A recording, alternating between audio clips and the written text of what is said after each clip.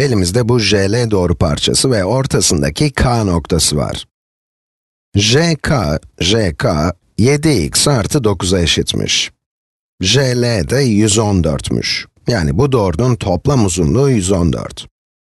Son olarak KL'nin 9x artı 9'a eşit olduğu bilgisi verilmiş. Bizden KL'yi bulmamız istenmiş. Bir başka deyişle 9x artı 9'un neye eşit olduğunu sormuşlar.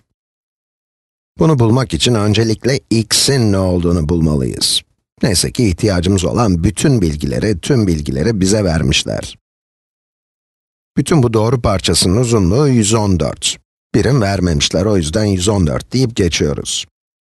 Ve buradan jk ve kl'nin toplamının 114'e eşit olacağını da görebiliyoruz. Yani jk artı kl eşittir 114. Demek ki 7x artı 9 artı 9x artı 9 eşittir 114. Şimdi aritmetiğimizi konuşturmanın zamanı. 7x artı 9x'in toplamı 16x, 9 artı 9 da 18 eşit. Yani 16x artı 18 eşittir 114.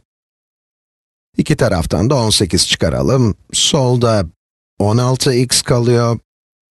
Sağda ise 114 eksi 18, 114'ten 14 çıkarsaydık 100 kalırdı. 4 daha çıkaralım, 96.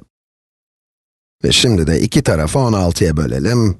96 bölü 16 eşittir 6. Demek ki x 6'ya eşitmiş. Ama işimiz henüz bitmedi çünkü bizden istenen sadece x değil, kl'nin uzunluğu. kl 9x artı 9 olduğuna göre, 9 çarpı 6 artı 9 eşittir 63. kl'nin uzunluğu 63'müş, kolayca bulduk.